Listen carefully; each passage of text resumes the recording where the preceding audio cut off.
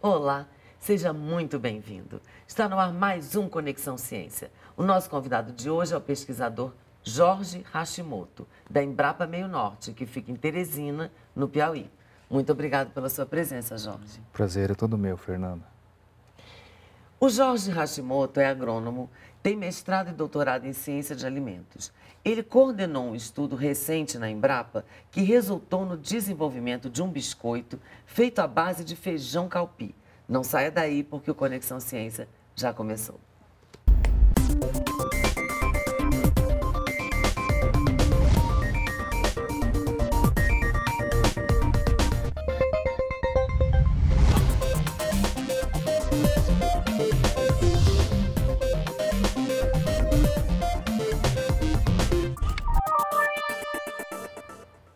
O novo biscoito de feijão calpi, desenvolvido pelos pesquisadores da Embrapa em parceria com o Instituto de Tecnologia de Alimentos de Campinas, não contém glúten, o que favorece os portadores da doença celíaca e pessoas com intolerância a essa proteína.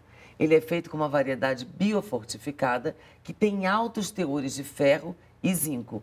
Além disso, o feijão calpi tem o dobro de proteínas em relação aos demais cereais usados na indústria de biscoitos. Jorge, qual é a origem do feijão calpi?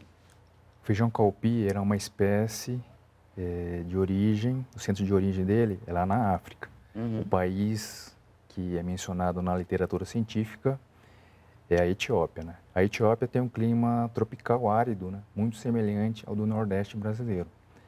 Tanto é que, atualmente, essa espécie ela se adaptou muito fácil a essa região nordestina. E como é que ele chegou até o Brasil? Ela chegou logo após o descobrimento do Brasil, né, através dos colonizadores portugueses.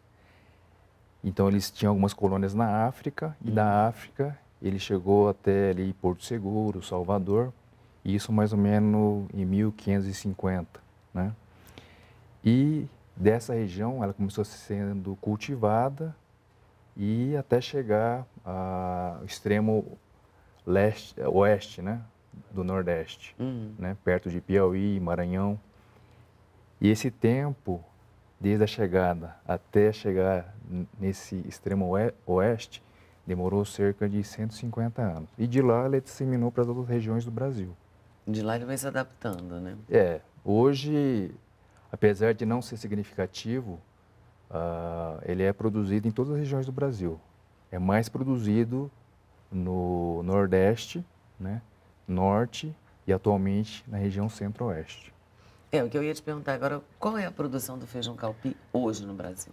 No Brasil, é, é em torno de 345 mil toneladas por ano, tá?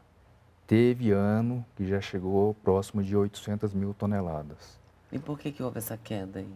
Isso é uma oscilação que ocorre, é, de, depende do clima, né? Uhum. Para ter essa alta, essa alta produção e também a demanda, né? A demanda é, é sempre alta, mas é mais dependente do clima, né? Das condições climáticas. O Nordeste nem sempre é, tem quantidade de chuva suficiente, né? Tem época que é, não chove, né? Então, tem ano que você não consegue produzir. Então, esse ano que produziu 800 toneladas foi um, um, ano um pouco atípico, né? E quais são os principais estados produtores do feijão calpi no Brasil? Então, a, até antes de 2007, uh, ah, o maior estado produtor era o Ceará, uhum. tá? Depois de 2007, é, começou a ser cultivado também na região centro-oeste. Ah, é? E na região centro-oeste, hoje, o Mato Grosso é o maior estado produtor desse feijão. Produz em torno de. É um terço da produção hoje é do estado do Mato Grosso, em torno de 135 mil toneladas. Tá? Muito. Só que assim, é, o Nordeste produz tudo isso, mas 80% do que ele produz é para exportação. Então vai para fora. O que fica no, é, no Brasil é o que é produzido realmente no Nordeste. Tá? Uhum. E dentro do, da região Nordeste, o maior estado produtor é o Ceará, em torno de 55 mil toneladas ano. Depois do Ceará, nós temos o Maranhão, 35 mil, Pernambuco com 25 mil, Piauí em torno de 22 mil toneladas. Assim, é, todos os estados do Nordeste, ele contribui com a produção de feijão. Diferente da região Centro-Oeste, né? onde só tem o Mato Grosso. Só o estado do Mato Grosso que produz esse feijão. Então, todos os estados da região Nordeste produzem sim, feijão? Sim, E onde é que ele é mais consumido? Então, eu falei no início do, quando chegou no Brasil, né, esse Aham. feijão. Ele foi se alastrando pela região Nordeste. Então é tradição ele ser consumido na região Nordeste, tá? Em todos os estados ali. É, virou uma cultura, né? Cultura do consumo de feijão. Inclusive os vários pratos típicos, né? Da região. É da origem, é de origem nordestina. E lá ele está super agregado já na alimentação da população? Sim, é porque assim, essa espécie, como eu falei no início, ela está adaptada à região Nordeste. Uhum. Vale ressaltar o seguinte, que nós temos no Brasil, em produção em grande escala comercial, duas espécies de feijão. Um é esse feijão do Nordeste, que é o feijão calpi, e o outro é o feijão comum, né, que é o carioca, o feijão preto, que é mais consumido na região sul e sudeste. Sudeste. Essa espécie de feijão, o feijão comum, ela não, você não consegue produzir no Nordeste por causa do clima. Né? Ela não está adaptada a esse tipo de clima. O feijão comum ela tem origem eh, na América Central. Uhum. Na América Central você tem um pouco mais de chuva, né? Não é igual a Etiópia, né? Que é um clima mais seco. Tá? E que pesquisas que a Embrapa vem desenvolvendo com o feijão calpim? Então, eh, desde a criação da Embrapa, ela trabalha desde o melhoramento genético do feijão, né, desenvolvimento de tecnologias de manejo da cultura, a parte de irri- irrigação, controle de pragas, adubação, eh, armazenamento, pós-colheita, industrialização. Então, assim, trabalha para desenvolver todo um pacote tecnológico para que o produtor consiga produzir no campo e colocar o produto no mercado, né? O biscoito foi desenvolvido a partir de uma variedade biofortificada do feijão calpim, né? Qual é o nome dela e qual é o diferencial dessa variedade? O nome dessa cultivar é a BRS Tumucumac, tá? Uhum. O diferencial dela é, ele tem um ciclo, né? Que seria o período que ele fica no campo, desde a semeadura até a colheita, um ciclo curto, em torno de 65 dias a 70 dias, tá? Uma outra característica dessa, dessa cultivar é a arquitetura da planta, que ela permite você fazer a colheita mecanizada ou ela pode ser também é, uma colheita manual. Então, isso serviria tanto para o agronegócio como para a agricultura familiar. Tá? Uma outra característica importante em termos nutricionais é o teor de proteína né? e o teor de ferro e zinco, é que ela é considerada uma cultivar biofortificada. Tá? Biofortificada quer dizer que ela tem maiores teores nutricionais. Sim, Ela foi desenvolvida pela Embrapa? foi desenvolvido pela Embrapa, a unidade eh, Meio Norte, né, que fica em Teresina. A Embrapa Meio Norte, hoje, ela tem um banco ativo de germoplasma, que é o armazenamento de várias eh, sementes né, Uhum. desse- dessa, dessa espécie, pega essa semente e fazem os cruzamentos até chegar, escolhendo as características que você quer, né, no produto final, na semente final. tá?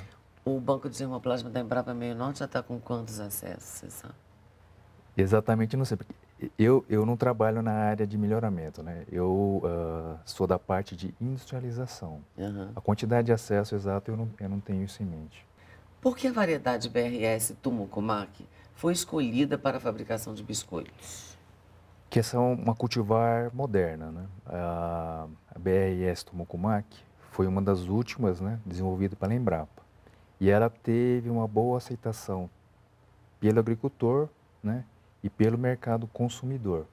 Então imagina, se nós vamos desenvolver um produto, eh, a gente tem que ter disponibilidade de matéria-prima, né? Uhum. Teria que ter dispo- disponibilidade de grãos dessa cultivar para poder estar industrializando algum produto, né? No caso, biscoito, que biscoito, é- a escolha do produto também, né? Por que biscoito? Biscoito, ela atinge todas as camadas da sociedade, né? Uhum. Todo mundo consome biscoito.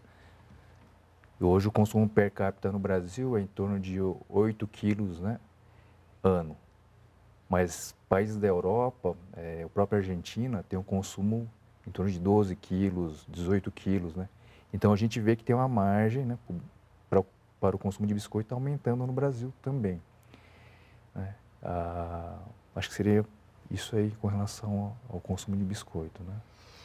E como é que foi conduzido o estudo que resultou na criação do biscoito feito à base do feijão calpi?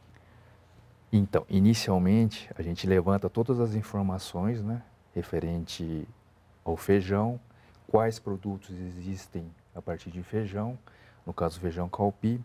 Nós constatamos que são poucos os trabalhos realizados utilizando é, a farinha de feijão para a produção de biscoito. Tá? Uhum. Basicamente encontramos dois trabalhos nacionais. Um foi de 86, que fez uma mistura de farinha de feijão com farinha de sorgo, tá? E um outro substituindo parcialmente a farinha de trigo pela farinha de feijão, em torno de 30%. A partir dessas informações, é, o objetivo do trabalho foi tentar aumentar o nível de substituição do feijão né, no biscoito. Uhum. Em vez de só 30%, vamos ver até onde a gente conseguiria ir. Então, nós fomos até chegar a 100%. E vimos que isso era viável, né? em termos de qualidade do produto final, aceitação sensorial, né? características visuais do produto. E nós fizemos todo um estudo, né? É, e verificamos e tivemos que fazer também todo um ajuste né, do processo para obter um produto de qualidade. Antes de falar mais sobre esse biscoito à base de feijão calpi, nós vamos para um rápido intervalo, mas não saia daí porque voltamos já.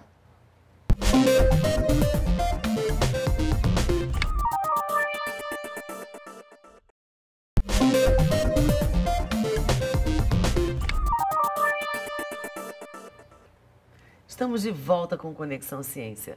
Hoje eu converso com o pesquisador Jorge Hashimoto sobre o biscoito de feijão calpi desenvolvido pela Embrapa.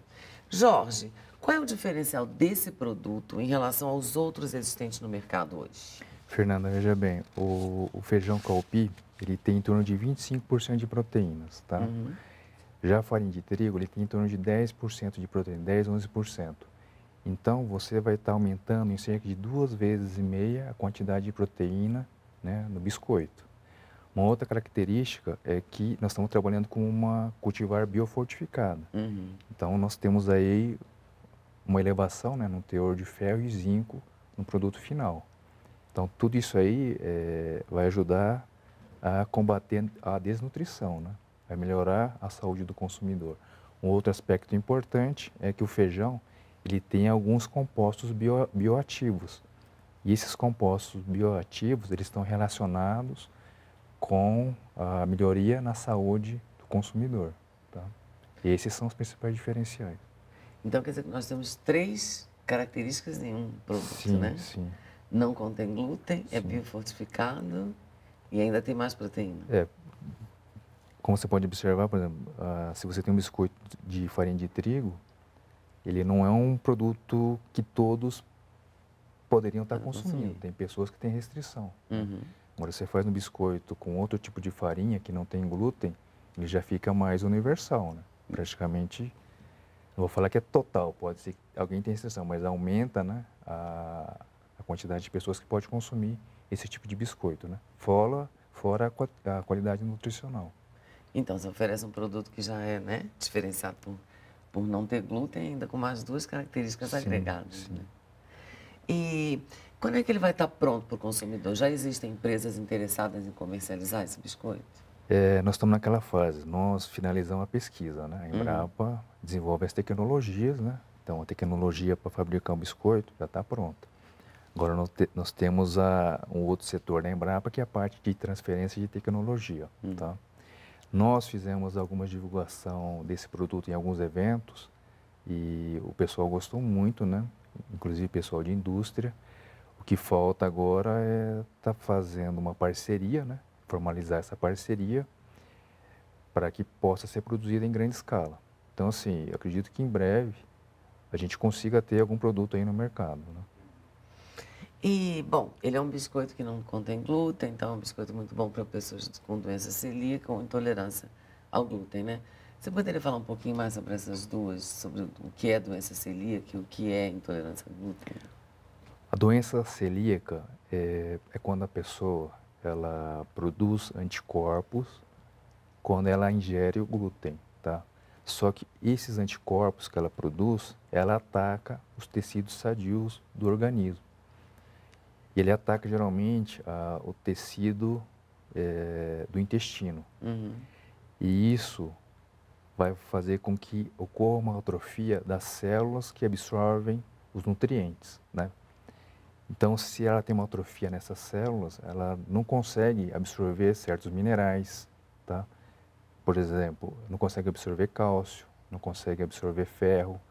Então, com o tempo, essa pessoa pode ter problema de osteosporose, anemia, né? E não vai absorver outros nutrientes, vai ter desnutrição, né? Fora os sintomas, né? Porque se não absorve esses nutrientes, uh, as bactérias do intestino, elas vão fermentar esse alimento não absorvido e gerar gases, gerar ácidos, né? E sintomas como diarreia, né? Mal-estar. Né? Mal-estar.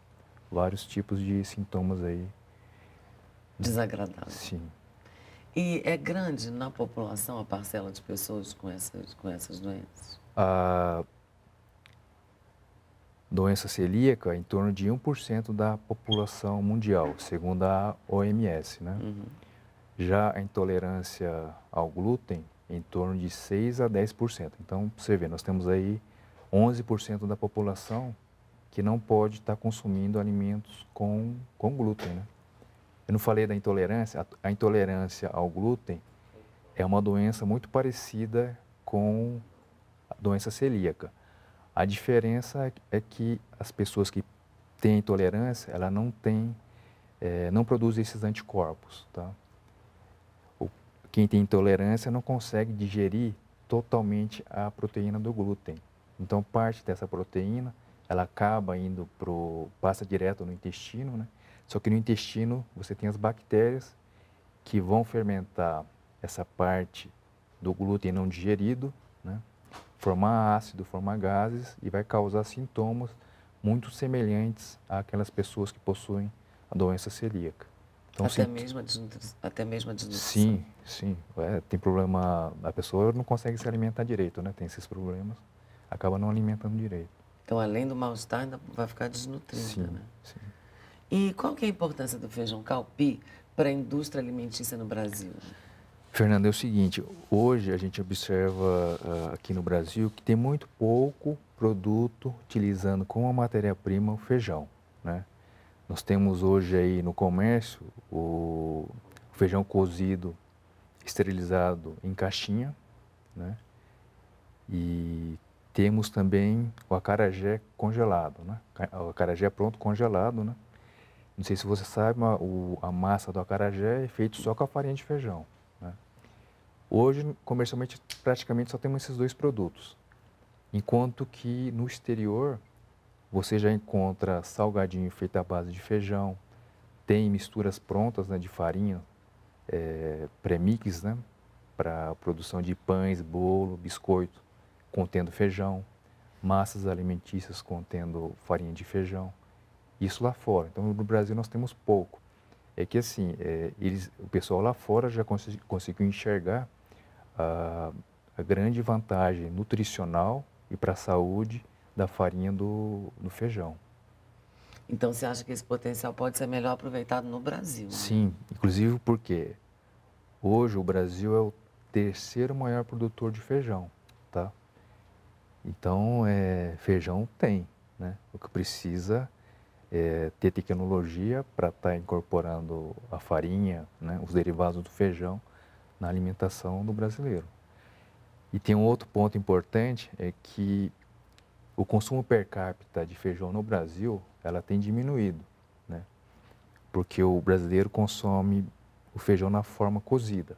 Uhum. Então, à medida que a mulher ingressou no mercado de trabalho, hoje o, o perfil da população está mudando, né? Com a modernidade, a pessoa acaba tendo menos tempo, então não tem, pra, não tem tempo para ficar cozinhando feijão. Então você tem que apresentar outras opções é, mais práticas para estar tá consumindo o feijão, né? De outras formas, não feijão cozido, mas feijão na forma de salgadinho, incorporando em biscoito, incorporando ele em pães, que é biscoito e pão, a pessoa, a população consome quase que diariamente, né? É, porque são coisas rápidas, mais fáceis. Sim, né? são alimentos prontos, é, chamando alimentos convenientes. Né? Alimentos convenientes. Sim. E o feijão é um alimento super nutritivo. Né? Sim, ele, uma das características é ter pro, grande quantidade de proteína uhum. e baixo teor de lipídios. Né? E tem Isso os é minerais, falar vitaminas. população, né? Porque Sim. as pessoas acham que feijão engorda. Sim. O que engorda é, às vezes, a forma de preparo, né? Coloca muito bacon, né? Aí isso aí que acaba engordando. Mas em si o feijão, ele é um alimento extremamente saudável. E com baixo, baixo teor de lipídios, sim, pelo que você falou. Sim. É, o mercado, esse, esse biscoito vem em cheio, né, para atender o mercado de, de produtos naturais que tem crescido no Brasil, né? Como é que tá? Como é que tá esse mercado no Brasil hoje para alimentos funcionais? Tem se observado um crescimento em torno de 12% ao ano, né? Uh, a gente pode observar isso quando você vai no supermercado. A cada ano, a quantidade de variedade de produtos é, orgânicos, é, mais saudáveis, uhum. tem aumentado. Isso também é devido à maior conscientização da população e também ao, ao acesso à informação. Tá? Então, existe uma demanda, né? A população está procurando alimentos mais saudáveis. Então, sim, o mercado está aberto para crescimento. E como é que é está a atuação da Embrapa nesse sentido, em relação a esse mercado? Nós estamos fazendo várias pesquisas, né? É, aquilo que eu falei, uhum. tentando é, introduzir o feijão em vários outros tipos de produto. Né? Uh, em massas alimentícias, em produtos como pão, né? Pão que eu falei é consumido pela população quase que diariamente. Na verdade, outras formas, né? é, de introduzir o feijão diferente do feijão cozido, né? Teria que ser outras formas. Ou seja, vamos dizer assim, desenvolver produtos que sejam fáceis, né, para a população ter acesso e que sejam nutritivos, né? Sim. Já tem outros produtos na mira da Embrapa Meio Norte? Então, a, a base de feijão. Nós, nós estamos, nós finalizamos, na verdade, um outro, um outro projeto. Uhum. É, para obter feijão na forma de salgadinhos, né? Esses salgadinhos extrusados, expandidos, né? Tipo, é... esse que criança gosta bastante, uhum. né? Crocante, ah, produto sim. pronto já. Um outro seriam ah, farinhas instantâneas de feijão, porque lá no Nordeste existe, é, a população é acostumada a consumir um caldo de feijão, que é uma sopa. Só que para fazer essa sopa de forma caseira é trabalhosa. Então você tendo uma farinha instantânea, é só colocar água, água quente, que a farinha já tá, a sopa já estaria pronta, né? Você pode fazer isso até no, no intervalo, no lanchinho, sim, no trabalho. Sim, sim. Né? Então, e você acredita que esse produto, bom, você disse que despertou bastante o interesse das pessoas nos eventos, né? Você acha que a parceria está próxima aí? É, falta a formalização, né? É, isso demora um pouco, né? Porque tem uma parte ju jurídica envolvida, né? Burocrática. Uhum. Demora um pouquinho, mas, mas acho que sai, sim. Mas o consumidor já pode se animar, né? Com a perspectiva sim, de um... Porque assim, por exemplo, é, vários salgadinhos, né? Que criança gosta bastante. Se você for ver, ele é rico em carboidratos, tem bastante gordura, mas nutricionalmente ele é pobre. Né? Pobre. Né? Então você tem que melhorar. Já que é para criança, vamos tentar melhorar a qualidade desse alimento. E a pergunta que não quer calar, esse biscoito é saboroso? É saboroso, tem um pouquinho gosto de feijão, mas é como todo salgadinho, né? Você acaba adicionando alguns saborizantes, né? Para poder é, mascarar um pouquinho o aroma ou o sabor de feijão. Né? Então tá, muito obrigado pela sua entrevista, Jorge. Até uma próxima. Eu que agradeço. Eu agradeço. Obrigado. E o Conexão Ciência termina aqui. Confira os dias e horários das reprises na página da EBC ou da Embrapa na internet. O programa também está disponível no canal da NBR no YouTube. Obrigada pela companhia e até a próxima semana.